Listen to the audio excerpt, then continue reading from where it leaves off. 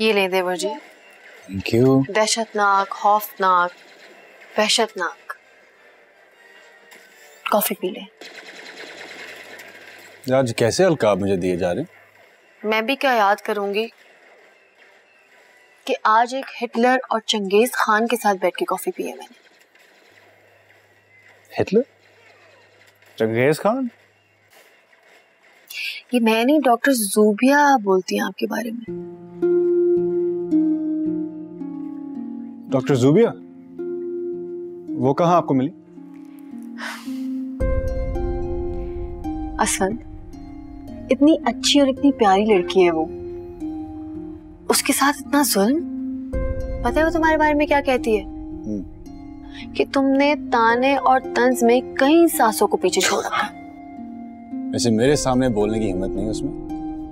मगर घर वालों से दोस्ती कर ली। खुदा का खौफ करो। वो तुम्हारा नाम क्या तुम्हारे साय से भी दूर भागती है? मैं उसे कभी नहीं बताऊँगी कि मैं तुम्हारी भाभी हूँ।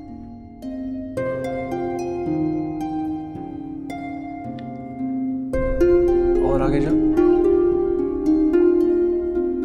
आज तो मुझसे दूसरी दफ़ा मिली।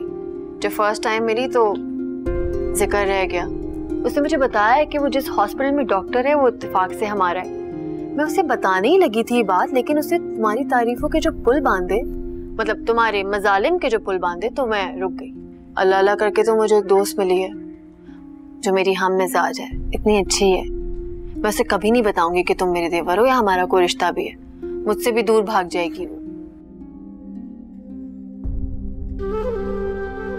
गूँगे बन के क्या बैठ गए उसफी अब क्या चाहते हैं कि मैं घर में भी अपने पेशेंट्स और स्टाफ के बारे में बातें करूँ? तुम कितने मगरूर और घमंडी हो गए हो। हाँ आसफी तुमसे ज़्यादा क्वालिफाइड डॉक्टर्स हैं वहाँ पे। डॉक्टर शहरोज और डॉक्टर आसफा वो कितने हम्बल हैं। और तुम्हारी गर्दन में तो कोई सरिया आ गया हो जैसे। बहुत गलत बात है। और ये भी यकीनन डॉक्टर जूबिया ने आपको कहा होगा ना? जी बिल्कुल। ठीक हो जाओ आसफी। बहुत बुरी बात है। इतनी प्यारी लड़की है। प्लीज़ प्यार से रहा करो उसके साथ।